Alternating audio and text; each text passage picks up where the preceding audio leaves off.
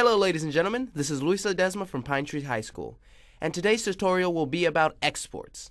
Alright, so once you finish your project, most of the time you gotta think about, well, how am I supposed to get this on a video and send it to people? Well, you gotta go to the export buttons, which is in the upper right hand corner of your screen, and you see right here, and you just click this export button.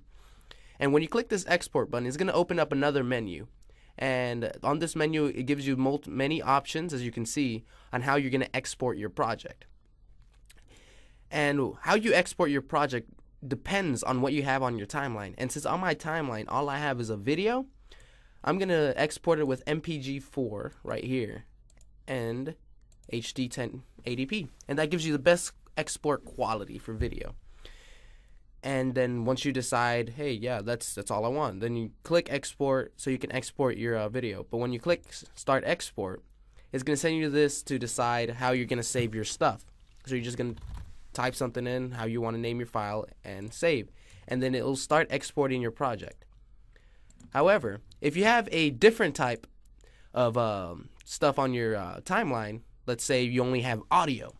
And for audio, you're just going to go to this audio option, and then you're going to change this one to um, MP3 best quality. And then you start, once again, you just start export and you export your whole video. Thank you, ladies and gentlemen, for joining in on this Pinnacle 20 tutorial about exports. Hope you have a great day.